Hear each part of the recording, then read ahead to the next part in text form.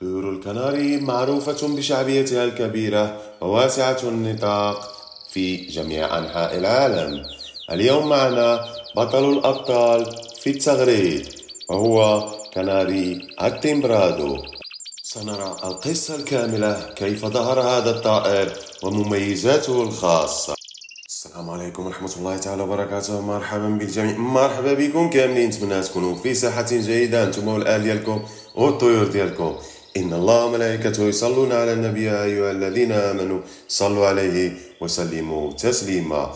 قبل ما ندخلوا في الموضوع وكالعادة الشكر الشكر الجزيل لكم كاملين من كل قلبي. على التفاعل ديالكم مع الفيديوهات على الإعجاب لايكات وعلى مشاركة الفيديوهات مع الأصدقاء وعلى التعاليق الجميلة. شكرا لكم جميعا.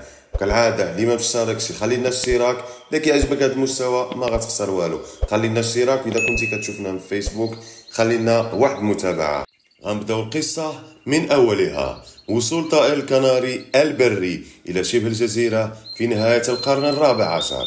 تميز أول كناري محلي بتغريده ولهذا السبب يعتقد أن اختيار العينات للتربية سيركز على هذه الصفات يعني سيتم التركيز على صفة التغريد.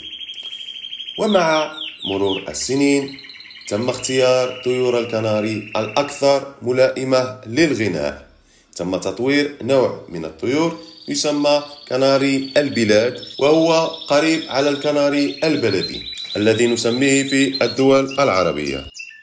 كان هذا النوع مهدد بالانقراض والظروف كانت ملائمة لهذا. ومن العوا... من هذه العوامل الحرب العالمية الأولى والثانية وإدخال طيور الكناري المفتة إلى إسبانيا وظهور الكناري الرولر والحرب الأهلية الإسبانية. مما أدى من تخلي العديد من المربين عن تربية الطيور. عقد مجموعة من المربين العزم على استعادة السلالة القديمة وتم إنشاء أول قانون غناء. وفي سنة 1954 قامت جمعية مربي الكناري الإسبان بتسمية هذا النوع من الكناري باسم تيمبرادو إسبانيول. في سنة 1962 عندما تم الاعتراف أخيرا بسلالة التيمبرادو الإسباني وكان ذلك في بطولة العالم العاشرة. وهنا وجب إضافة معلومة مهمة. فكناري تيمبرادو يمكن أن يكون بأي لون أو شكل ولكن لا يمكن أن يكون ذو ريش مفتول.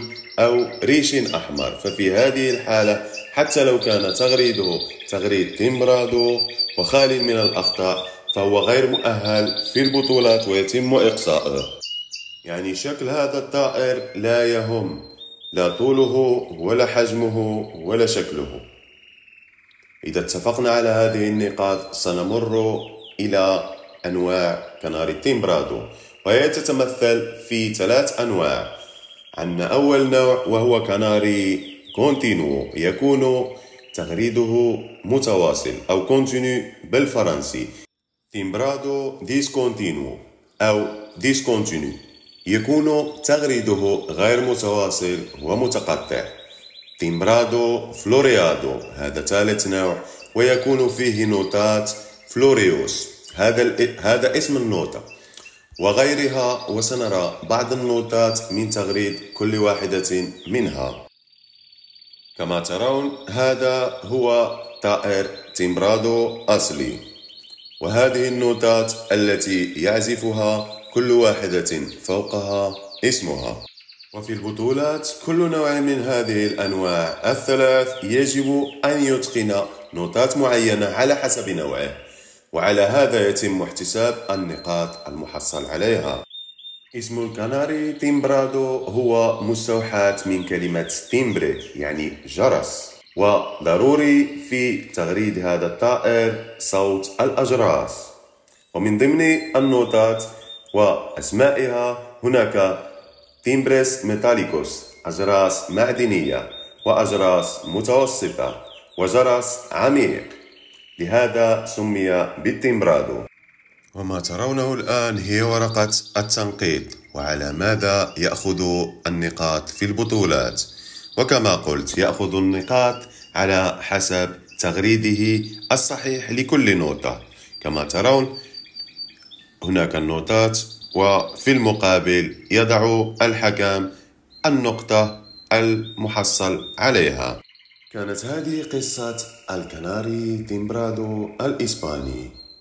تعلمنا المواصفات الأصلية. سأترك لكم في الأخير مقطع التغريد مع أسماء النوتات ولكن بدون صوتي لمن يهمه الأمر.